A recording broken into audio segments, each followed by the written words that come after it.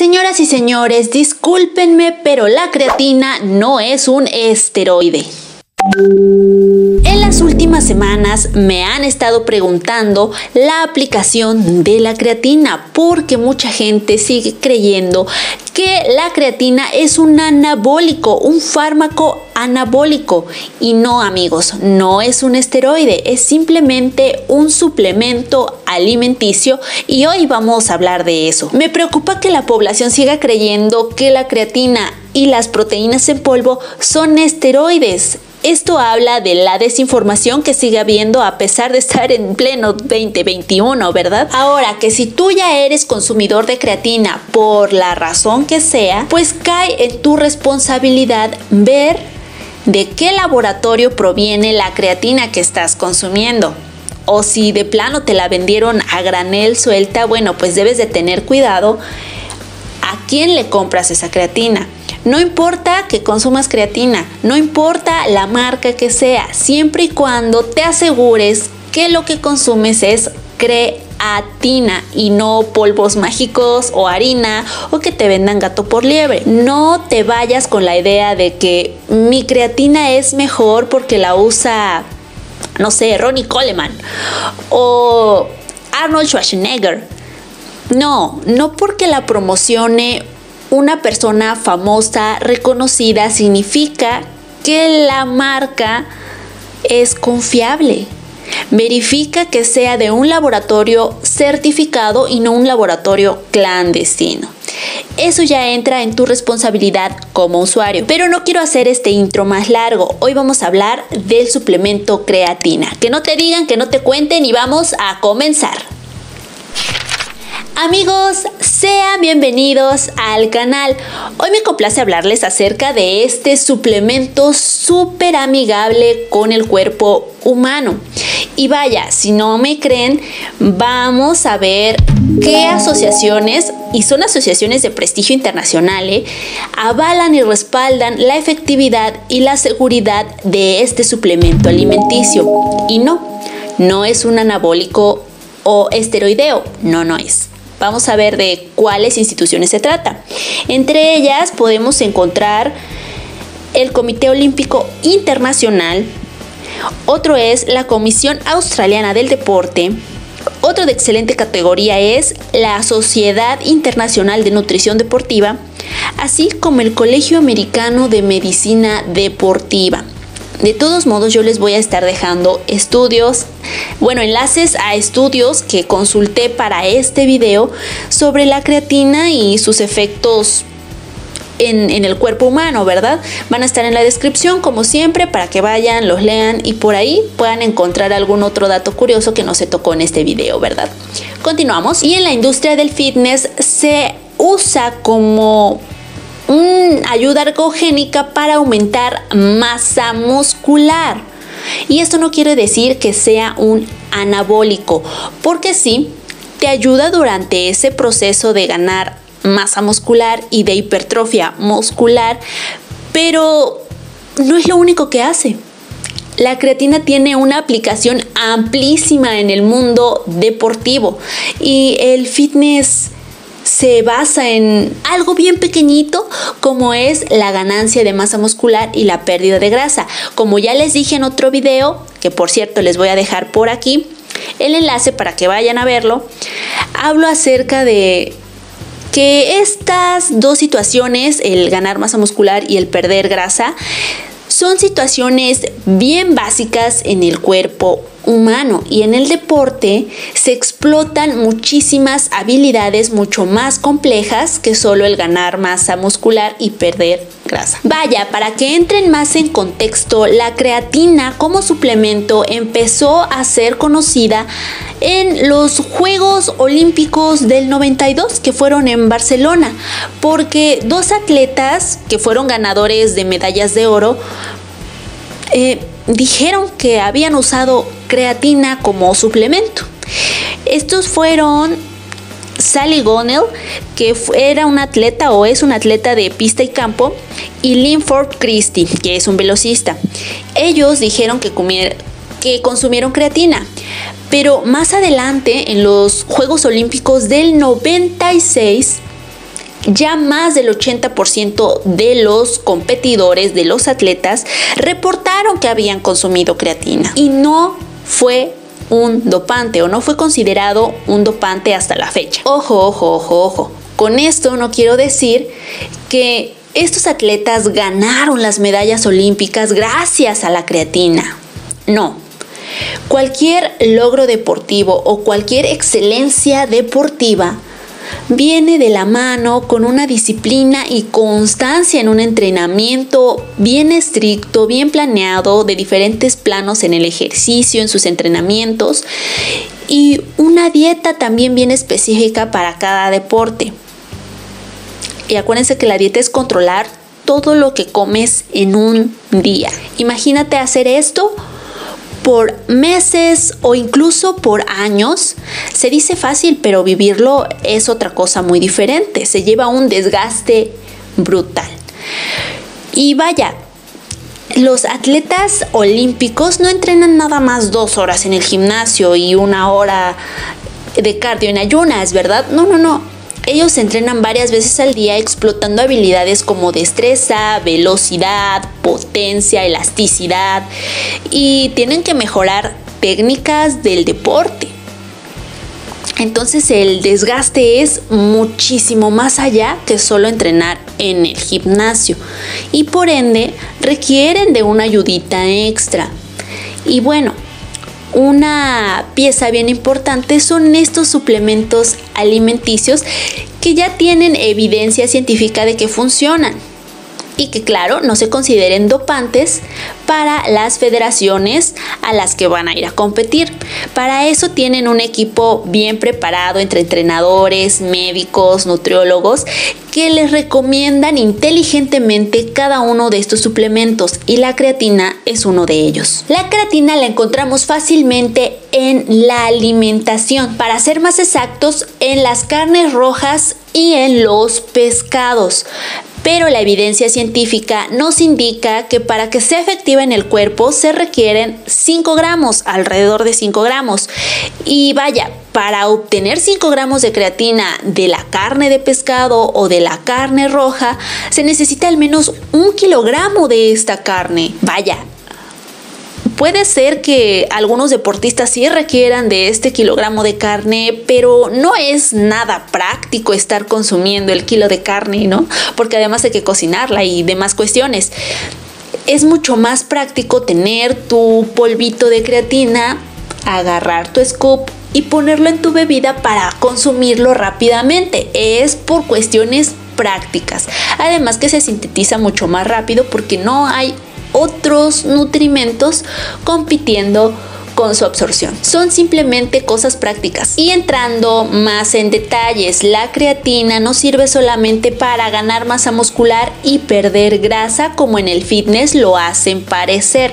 La creatina tiene una aplicación amplísima. Entre sus aplicaciones más destacables encontramos que mejora el rendimiento deportivo y la fuerza, también la salida de potencia y claro, es muy obvio también el mejoramiento del sistema aeróbico. Vayan, hay que tener simplemente nociones bien básicas de las vías energéticas que el cuerpo humano necesita para entender este último. Pero vamos a explicarlo aquí en palabras sencillas. Pero antes vamos a terminar de explicar las aplicaciones de la creatina. Además de tener estas aplicaciones en el mundo deportivo, tiene algunas aplicaciones clínicas bien interesantes. Tienen que ver más con algunos beneficios cognitivos y en algunos de los estudios que te dejé aquí abajo menciona que se ha incorporado en el tratamiento contra el Alzheimer. Imagínate la amplia variedad de aplicaciones que tiene la creatina. Es casi una maravilla. Y esto porque se sintetiza desde el cuerpo mismo, a través de los alimentos. Ahorita les voy a explicar eso también. Calma, calma. Como pueden ver, la creatina tiene una amplia aplicación y considerar solamente que hace funcionar los musculitos y que hipertrofia y que la pérdida de grasa es quedarse solamente en la punta del iceberg. La creatina se sintetiza en el cuerpo humano de manera natural a través de los alimentos. Pero ¿qué crees? Esta síntesis de creatina es muy, muy, muy, muy, muy pequeñita en dosis diminutas. Como te dije, se da principalmente de comer carnes rojas y pescado. Por ende, el consumo de creatina no se considera esencial. Pero ¿qué crees? Aunque se sintetice en el cuerpo de manera endógena, pues no es suficiente para saturar esas reservas de creatina, por lo cual no es funcional esta síntesis que el cuerpo tiene por sí solo. Y ojo, cabe aclarar que no estamos hablando en este momento de salud, sino más bien del rendimiento deportivo. Por esto que te acabo de mencionar de que no es suficiente solamente la síntesis que el cuerpo hace por sí sola, los deportistas que tienen un desgaste mucho mayor que el resto de la población, pues recurre a estos suplementos que son seguros. La creatina es uno de ellos. Y entonces, tomar este suplemento recetado de manera inteligente por su equipo que hay detrás, pues les hace un super favor en las adaptaciones que debe hacer su cuerpo para rendir mejor en su deporte. Y bajo ese contexto, si tú quieres consumir creatina, lo puedes hacer y es muy seguro, pero es mucho mejor que lo hagas bajo la recomendación de un profesional, ya sea tu entrenador certificado, tu nutriólogo o tu médico. Y claro, siempre y cuando estés haciendo ejercicio o algún deporte bien específico. Y te preguntarás, ¿cómo es que funciona la creatina? Bueno, actúa en la célula y sobre todo según las reservas que tenga. Y ahorita te voy a explicar bien rápido y espero no enredarte. Cualquier actividad que realicemos, nuestras células van a estar gastando energía. ¿Y de dónde obtienen la energía? Del adenosín trifosfato, de manera abreviada el ATP. ¿Y de dónde obtiene el ATP? Pues claro, de la fosfocreatina. Y vamos a poner un ejemplo. Digamos que estás en el gimnasio y estás haciendo sentadillas. ¿Ok? Esta sentadilla está generando un gasto en cada una de las células de tu cuerpo el movimiento de sentarte, el mantener el peso de la barra y todo el peso que estás cargando, el mantener la posición, el mantener los músculos bien rígidos. Eso está gastando energía y en algún momento el ATP se va a terminar porque es una demanda de energía muy grande. Entonces digamos, estás haciendo tus repeticiones y en la décima repetición llegas al fallo muscular. Vaya. Y es aquí donde entra la magia de la suplementación con creatina. Si tú tienes esa suplementación con creatina, las reservas de fosfocreatina en cada una de las células va a aumentar y entonces cuando tú estés haciendo nuevamente estas sentadillas, en lugar de llegar al fallo en la décima repetición, vas a llegar al fallo en la venteava, porque las reservas no se van a acabar hasta la venteava repetición. No sé si me voy explicando, en verdad espero no haberlos enredado. Por ende, esta reserva de energía que te ayudó a llegar hasta la venteava repetición, pues te ayuda a tener una hipertrofia de manera más fácil y por ende vas a aumentar masa muscular pues más fácil, ¿no?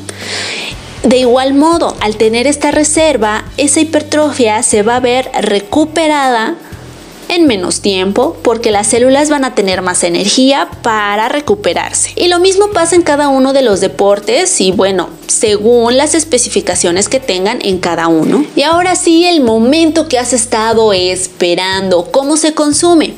Ojo, esto es de manera muy general. Si tú quieres una recomendación bien específica para tu caso y maximizar tus ganancias de manera inteligente, pues ve con un nutriólogo un médico, un especialista en el tema. Y bueno, los botes de creatina aseguran que debes tener una fase de recarga de creatina donde debes consumir tres o cuatro scoopsitos o cuatro mediditas en un día para empezar a recargar y esto creo que lo hacen durante cinco días si no mal recuerdo. Pero no es necesario gastar tanta creatina. Con que tú inicies a tomar 5 gramos de creatina, pues se va a ir acumulando en tus músculos. O sea, no eres un atleta olímpico para gastarte los 5 gramos en un día. Entonces, esa reserva es más que suficiente para estar acumulando creatina en tu cuerpo y te sea funcional más adelante. Para tu cuerpo, el que tome 5 gramos de proteína ya está rebasando por mucho la síntesis que ya produce por sí solo el cuerpo. Entonces es evidente que vas a estar almacenando creatina desde el día 1 en que consumas 5 gramos de creatina. Es solamente sentido común. Y ahora vamos a romper un par de mitos que hay alrededor de la creatina hay solamente dos tipos de creatina. Cualquier nombre diferente a los que te voy a decir es puro marketing, así que ojo, cuida tu bolsillo porque muchas veces por tener nombres rebuscados y rimbombantes te lo quieren vender al doble del precio. La primera y la más conocida es la creatina monohidratada. Esta simplemente es creatina y bueno, se revuelve con tu bebida favorita y la tomas y ya, esperas el efecto, ¿no? La siguiente es la creatina micronizada. Así es, micronizada. Generalmente viene en un polvo más finito, más delgado y es la misma función. La puedes revolver con tu bebida favorita y para adentro. Y la única diferencia que hay con estas dos es la misma diferencia que hay con la leche entera y la leche deslactosada. ¿Y cuál es? Bueno, a algunas personas les puede caer pesada en la digestión la creatina monohidratada y bueno, entonces en esos casos hay que recurrir a la creatina micronizada, que es un poco más liviana. Y ya, simplemente es por fines digestivos. Cabe aclarar que la función es exactamente la misma. Ahora, ¿cuándo es mejor tomarla? ¿Antes o después del entrenamiento? En ningún momento es mejor. Con que tú la tomes una vez al día los 5 gramos, vas a estar creando esa reserva. Cabe aclarar que no porque te la tomes ahorita en 15 minutos ya va a estar actuando. No funciona así, no es de función aguda. Esta actúa por acumulación. ¿Qué quiere decir? Pues es reserva. Entonces, si tú vas acumulando tus reservas, va a ir funcionando. Aunque tú hagas tu recarga los primeros 5 días, no vas a tener los resultados en el primer día que la tomes, porque en realidad al momento que la consumes debe pasar por el metabolismo hasta llegar a la célula. No hace falta que recargues, simplemente debes esperar el proceso que tu cuerpo tiene para que la creatina tenga su efecto. Tómalo con calma, deja que fluya. Y este es un mito que alarma a muchos. Yo sé que has escuchado que la creatina hace que retengas líquidos. Y sí, no es tan equivocado, retiene líquidos, pero estos líquidos que retienes es adentro del músculo, intramuscular. En realidad es intracelular, porque es ahí donde se llevan todos los procesos. Pero, pues no te tendría que preocupar, realmente se agrega ahí el agua o se reserva ahí el agua porque es donde están reservando toda la energía que tu célula va a usar para que rindas mejor en tus ejercicios. No debería preocuparte, al contrario, al ser agua que está dentro de tu músculo, va a hacer que tu músculo se vea más grandecito, más fuertecito. Y cuando entrenes lo voy a decir así de manera coloquial, tus músculos se van a ver más bombeados. Eso es todo lo que tengo para ustedes en este video. Posiblemente haya una segunda parte o pequeños posts en Instagram. Que por cierto, si no me siguen, vayan a seguirme para ver más, más curiosidades, más posts. Y pues es gratis también regálame un comentario aquí, un mensajito privado, suscríbete al canal y activa la campanita de notificaciones. A mí me ayudaría mucho y a ti te llegarían tips gratis. ¿Qué esperas? Y nos vemos en la próxima.